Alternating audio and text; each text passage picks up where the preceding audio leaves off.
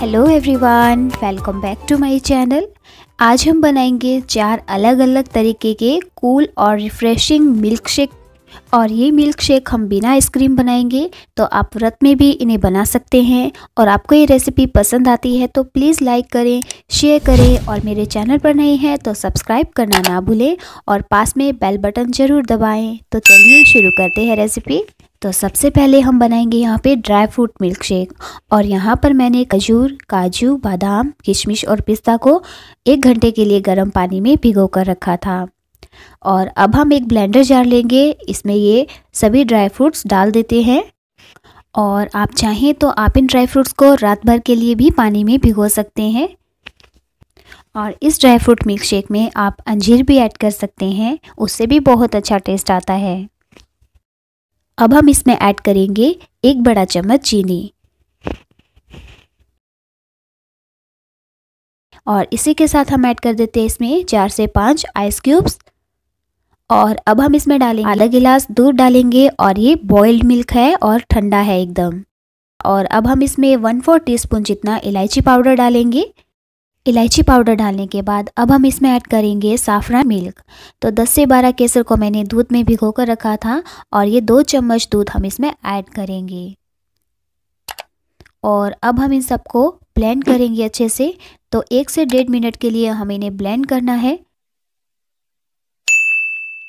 और ये देखिए हमारा ड्राई फ्रूट मिल्क शेक बनकर के तैयार है। और ये पूरा एक गिलास मिल्क शेक बनकर के तैयार है। इसे हम गार्निश करेंगे पिस्ता के साथ और थोड़ा सा साफरान मिल्क डालेंगे ऊपर से।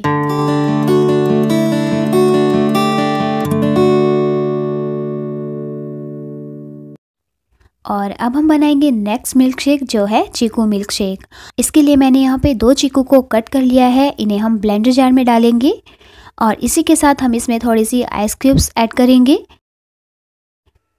और अब हम इसमें ऐड करेंगे क्रश ऑलमंड। तो ये बादाम को मैंने एकदम बारीक कर लिया है और वही हम इसमें ऐड कर देते हैं।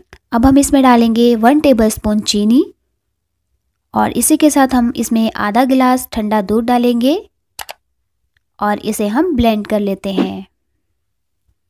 तो सेम प्रोसेस है, एक से डेढ़ मिनट के लिए हम इसे ब्लेंड करेंगे। और ये चीकू मिल्क शेक जो पीने में बहुत टेस्टी है, बनकर के बिल्कुल तैयार है। और इसे हम गार्निश करेंगे थोड़े से ड्राई फ्रूट्स के साथ।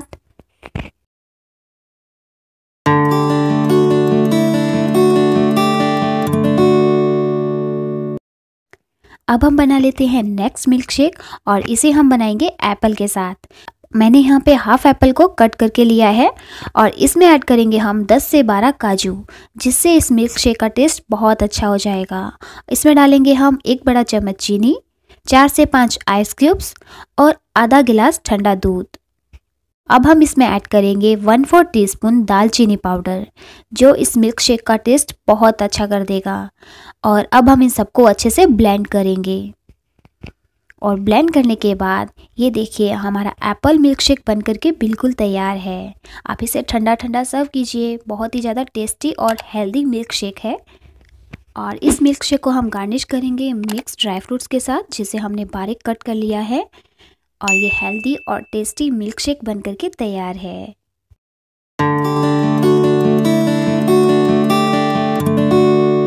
और ये है लास्ट मिल्क शेक जिसे हम बनाएँगे बनाना के साथ। तो एक केला मैंने यहाँ पे लिया है और इसे हमने बारीक कट कर लिया है। इसमें डालेंगे हम बारीक कट के हुए काजू और बादाम और ये दो चम्मच लिए हैं मैंने। और इसमें हम वन फोर टीस्पून डाल देंगे इलायची पाउडर और एक बड़ा चम्मच डालेंगे हम इसमें चीनी। और इसी के साथ हम इसमें आधा गिलास ठंडा दूध डालेंगे।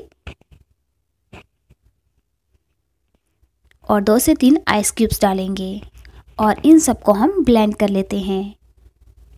तो एक से डेढ़ मिनट के लिए हमें इन मिल्क शेक को ब्लेंड करना है ताकि इनमें कोई भी चंक्स ना हो। अगर आपको इसमें चंक्स अच्छे लगते हैं तो आप इन्हें थोड़ा कम ब्लेंड भी कर सकते हैं। और ये dry fruit banana milk shake बनकर के बिल्कुल तैयार है।